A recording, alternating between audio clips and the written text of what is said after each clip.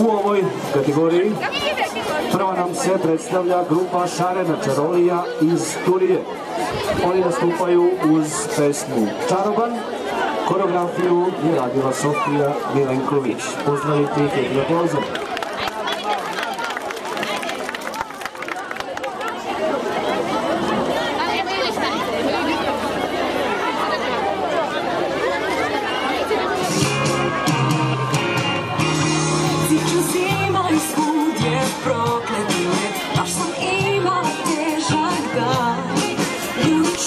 see me.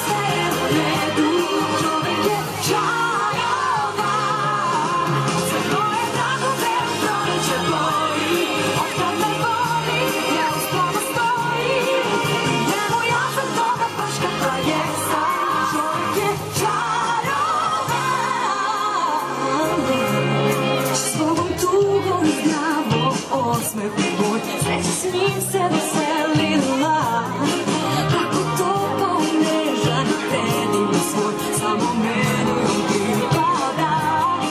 Любо причому моє найболі ти, це смеє тебе сама. Люди не кажуть, собі веліпай, коли ну також сія вам, наша люба візаря.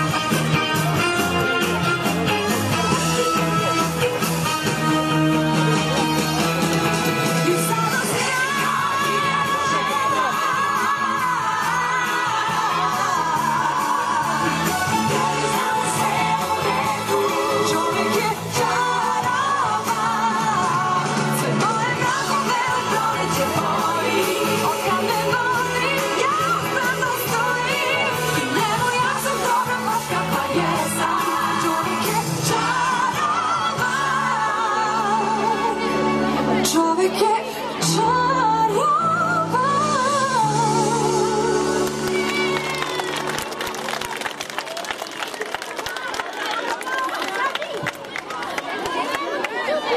Bile su ovo šarene čarolije Sturije.